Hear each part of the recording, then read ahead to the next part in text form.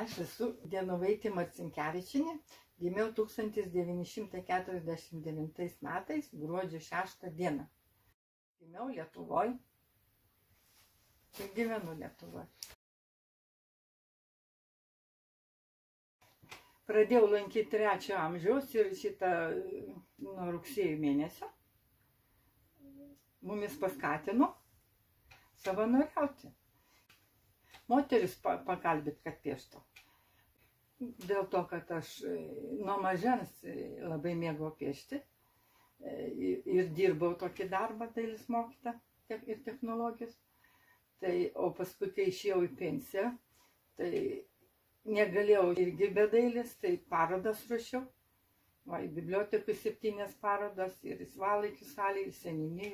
Sudariau programą visiems visiem metams ir pagal ir temas, įmam temas ir piešiam. Kiekvieną programą visą dailės teoriją, pagrindus dailės.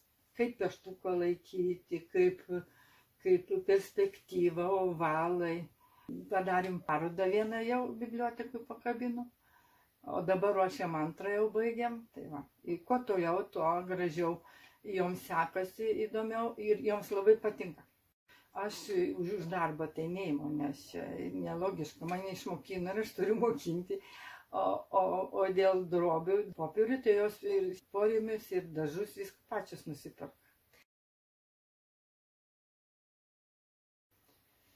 Nu, kaip čia pasakyti, blizga kutis. su džiaugsmu piešia. Ai, čia, ai, va čia, va čia, va čia, va čia, va čia dar padarysiu. Ai, va čia ne tokia spalva, kaip šitą dalį. Nu, tokia, tokius emocijos labai šiltos, tokius iš vidaus einančių jo, joms. Nu, va, tokius įdomius. Smuku. Vienu žodžiu, bendraujam. Savanorystė pereina ir jom, ir man. Kviečiu savanoriauti ir, ir ieškoti savyje talentų ir padėti kitiems žmonėms.